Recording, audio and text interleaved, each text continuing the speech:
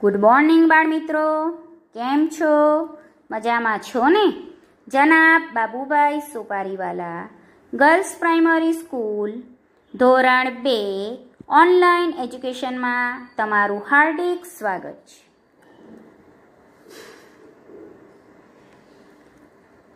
આજે તારીખ બાવીસ છ બે હજાર એકવીસ, વાર મંગળવાર. આપણો વિષય છે ચિત્રકામ. ચિત્રકામ આપણે તમે પહેલાં ધોરણમાં પણ શીખ્યા ને? આજથી આપણે ચિત્રકામ શરૂ કરીશું. ચિત્રકામની અંદર આપણે રેખાંકન આકારો, રેખાંકન એટલે લીટીઓ. રેખા આપણે દોરીએ ને, લીટી આડી, ઊભી, ત્રાસી, તો એના આકારો દોરતા શીખીએ. ચાલો બોર્ડ પર ધ્યાન આપો.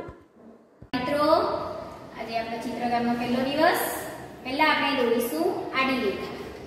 તો આડી રેખા એટલે આ રીતે આપણે ફૂટપટ્ટી મૂકીને દોરીએ, એને આડી રેખા કહેવાય, બરાબર ને? તો આપણે આડી રેખા દોરીશું. ફૂટપટ્ટીથી જ દોરવાની છે. ફૂટપટ્ટી તમારી સીધી આવવી જોઈએ. થોડી અંતર રાખીને બીજી દોરીશું. ત્યાર પછી એટલું જ અંતર રાખીને ત્રીજી દોરીશું. આ રીતે છ લીટી દોરીશું, બરાબર? ઓછામાં ઓછી આપણે કેટલી લીટી દોરીશું? છ. આપણે દોરીએ ત્યારે મનમાં ગણતા જવાનું કે એકાદ વધારે ઓછી થઈ નથી ગઈ. થઈ ગઈ? હવે ફરી ગણી લઈએ. એક, બે, ત્રણ, ચાર, પાંચ, છ. આ કેવી લીટી થઈ? રેખા એટલે લીટી. આડી રેખા આડી લીટી. આડી લીટી. થઈ ગઈ ને? હવે આપણે દોરીશું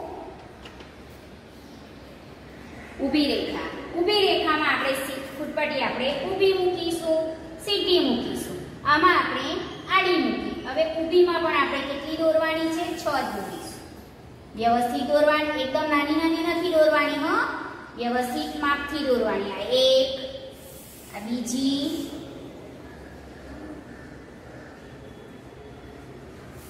ત્રીજી, ચોથી,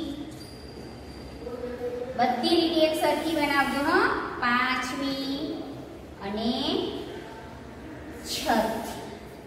આપણે કેવી રેખા દોરી? ઊભી રેખા. કેવી રેખા દોરી? ઊભી. વચ્ચે બરાબર જગ્યા રાખવાની, ફૂટપટ્ટી સરખી મુકાવી જોઈએ.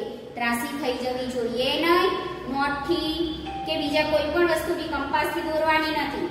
ફૂટપટ્ટી વડે જ દોરવાની છે. ચાલો, હવે આપણે દોરીએ ત્રાસી. રેખા બરાબર ત્રાસી રીત ત્રાસી રીત એટલે ફૂટપટ્ટી આપણે ત્રાસી મૂકવાની. બરાબર?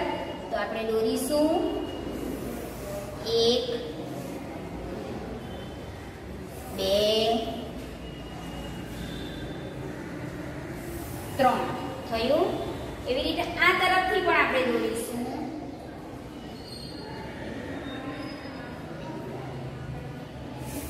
એક. લીટી સરખી જ આવવી જોઈએ. બે.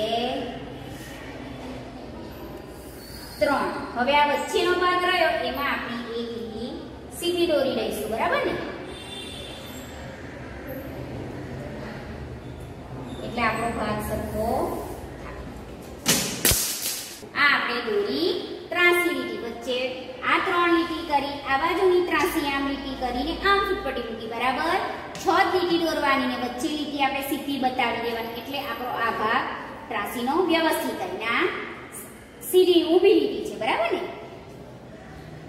ચાલો, હવે સરફાકાર એટલે સાપ ચાલે ત્યારે આમ આમ થાય, બરાબર ને? એ જ રીતે આપણે દોરીશું. એ અથવા તો દરિયાના મોજા કેવા ઉછળે? આ રીતે. બે ત્રણ, ચાર, પાંચ, છ. કઈ ને આ સર્પાકાર વળાંકવાળી રેખા વળાંકવાળી લીટી, બરાબર ને? બધી લીટી છ છ બનાવવાની છે.